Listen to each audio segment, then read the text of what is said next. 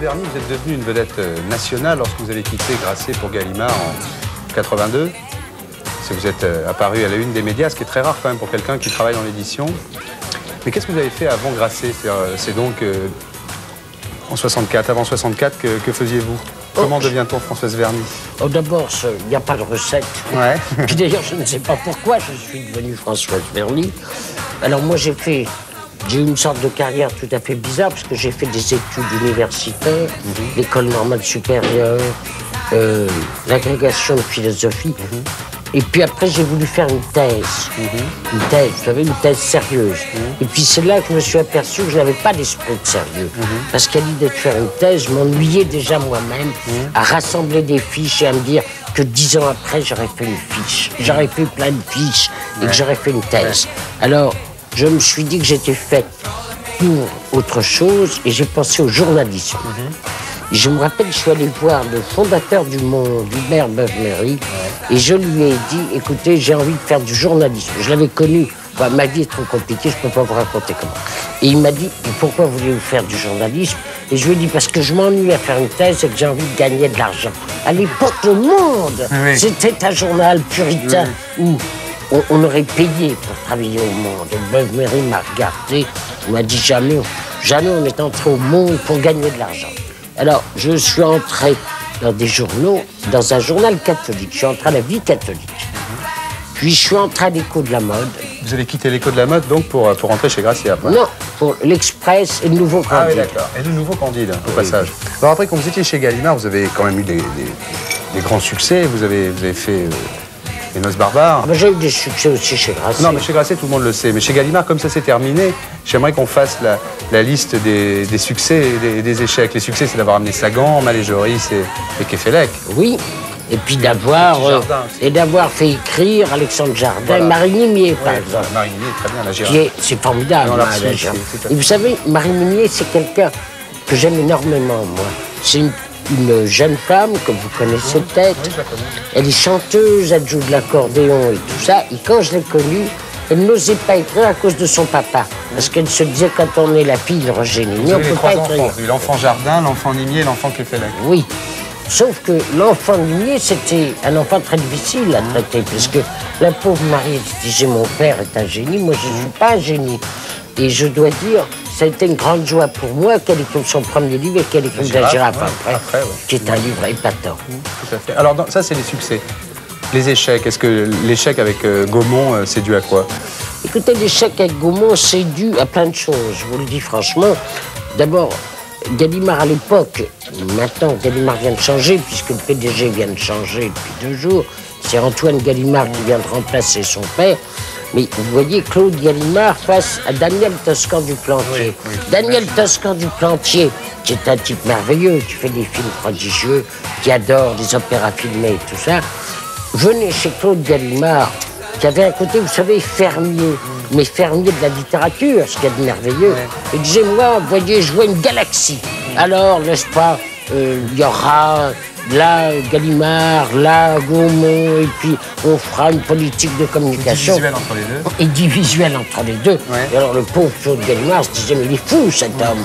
Et puis il se disait, mais ce Toscan du Plantier, il va me piquer Gallimard.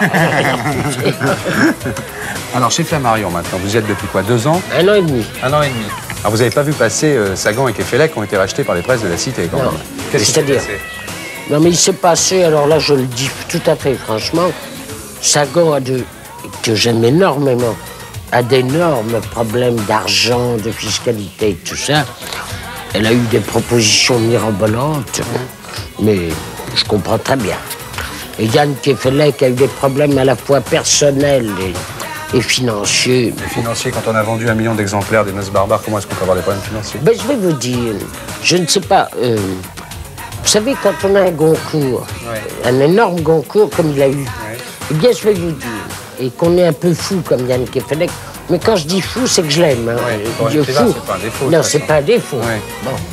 Eh bien, je vais vous dire, il a dépensé aussi tout l'argent qu'il avait. Il a acheté un énorme bateau, il a fait des tapés de bêtises, mais, mais des bêtises que j'aime et que je comprends. Alors maintenant, un an et demi chez Flammarion, vous avez fait, vous avez fait quoi? Vous avez fait Rue Racine, c'est vous ça? J'ai fait Rue Racine, mais j'ai aussi apporté amener des auteurs. Puis moi, ce qui m'intéresse, c'est pas de faire, c'est de faire faire. Puisque Ouais. moi, au fond, je vais vous dire, hein, tantôt on me traite de nourrice, tantôt on me traite de mère Mère, de- de... De Moi, ce qui m'intéresse, c'est- de faire découvrir. Ouais. C'est de découvrir et de faire découvrir des talents nouveaux.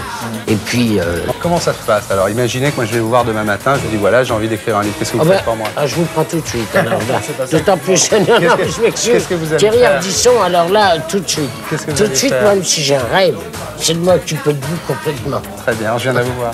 Oui. Qu'est-ce que vous faites alors? Vous allez m'appeler le soir pour savoir si je travaille Absolument. ou si je fais pas trop de télé, si je Voilà. fais pas trop de Et je vous dirais, à ce moment-là, je, je, je, je jouais un rôle complètement inverse. Ouais. Je vous dirais, Thierry Ardisson, au fond, c'est bien vos émissions de télévision. Ouais, ouais. Mais tout de même, les livres que vous avez faits, Rive droite, Louis XX, et tout ça, c'est des livres beaucoup plus importants, c'est plus important que vos émissions. Ouais. Alors je vais inverser complètement. C'est vrai que vous appelez les gens le soir chez eux pour savoir Ah oui, s'ils travaillent, le. Ah oui, matin de bonne heure, etc. Là où ça dépend des rythmes de vie. Si vous me dites que vous travaillez le matin, je vous appellerai le matin. Ouais. Ça, ça, je vous appellerai Et le vous soir. demandez aux gens ce qu'ils mettent dans leurs livres et tout ça vous... Non, vous- je, ça je leur, que c'est- que vous je leur considérez le demande pas. Je leur demande pas ce qu'ils mettent dans leur livre. Je leur demande, au fond, j'essaie de savoir ce qu'ils sont en train Ouais. de faire. Alors c'est quoi votre plus grand, euh, votre, votre plus grand succès ou vos trois plus grands succès, disons en tant que faiseuse justement, des gens Non, je, vous voir. alors, je tiens à dire une chose. Ouais. Alors, et c'est là où je crois que je suis plus une patronne de bordel une nourrice qu'une mère. Ouais. Je n'ai jamais donné de talent aux gens qui n'en ont pas. François Xenakis a dit un jour dans le matin en parlant de vous que vous aviez un emploi du temps extrêmement chargé et que euh, quand vous aviez du temps libre, vous saccagiez votre vie en buvant un peu des coups comme Ouais, ça. peut-être, oui, ça c'est vrai. C'est vrai que je suis pas, je suis pas très ménagère de ma vie ni de mon temps, mais je suis pas non plus, je suis pas non plus suicidaire. D'ailleurs, quand ça ne va pas, je, non, non, je suis pas suicidaire. Les gens se font du souci pour vous des fois à cause de ça. Mais ça, je comprends tout à fait. Et c'est très gentil. J'aime beaucoup les gens qui se font du souci pour moi. Mais vous, ça vous, ça vous gêne qu'on en, qu'on en parle? Non. Non, parce que je sais bien que c'est un problème. Ça vous gêne par exemple qu'on parle de Sagan en ce moment euh, pour des Non, histoires? non, alors je voudrais vous dire, Ouais. Françoise Sagan est une amie. Alors, une amie que j'aime énormément.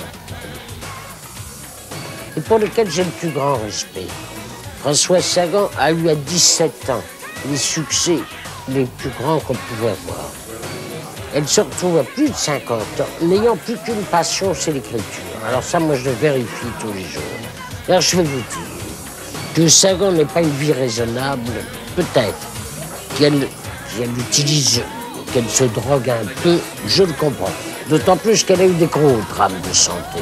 Mais pourquoi, après tout, faire de Sagan le prototype de tous les drogués de France C'est une honte. Vous n'avez jamais eu envie d'avoir une maison d'édition à vous? Non, bizarrement, non. Parce que je vais vous dire, je crois que je suis un très bon éditeur, mais je ne suis pas sûr que je serai un bon gestionnaire. Voilà. Et pour être sûr de ne rien rater de Inalarditube, abonnez-vous et mettez un pouce bleu.